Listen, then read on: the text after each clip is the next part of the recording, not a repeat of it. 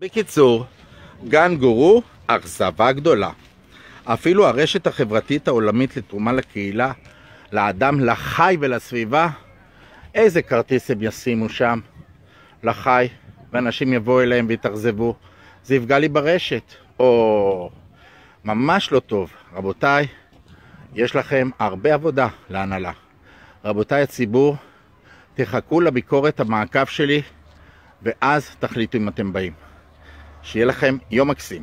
הולכים עכשיו לבחון את מסעדת הדגים בעין גב, שהייתה פעם המסעדה לדגים. נראה מה קורה היום. להתראות בהמשך.